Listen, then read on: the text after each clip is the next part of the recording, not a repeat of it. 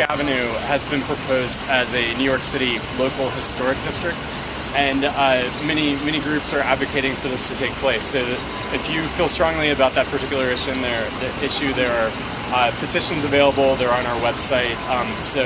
Uh, uh certain sections of this neighborhood are, as you mentioned, uh, historic districts, and uh, there's a kind of a separate review process for uh, for um, uh, altering buildings in those areas.